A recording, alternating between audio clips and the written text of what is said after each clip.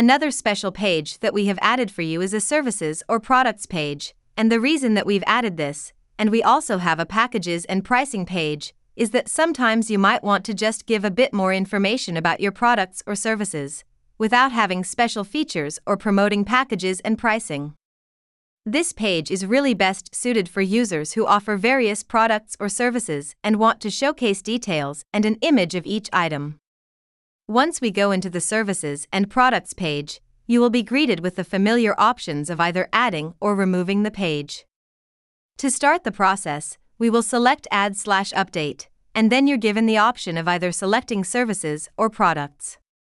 Once you've selected services or products, you've got the option of adding 1 to 10 products or services, so now choose how many you want to be displayed. Any information that you add here will be automatically displayed once you return to this page. We can add the header text, which is a brief explanation of the services or products you want to display. You also have the option of adding an intro text, which is again limited to 8,000 words. As a reminder, you can add images, text, lists, tables, basically anything you want in this section, and this will be displayed above your actual services or products that you are promoting.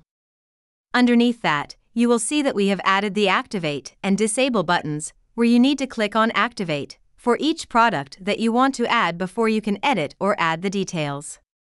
You are then given the option of adding three different fields. One is the name of the product or the service.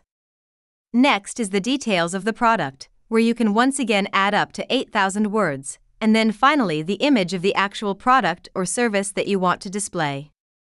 All these fields are required, so please bear in mind that for each product or service, you will need to upload an image.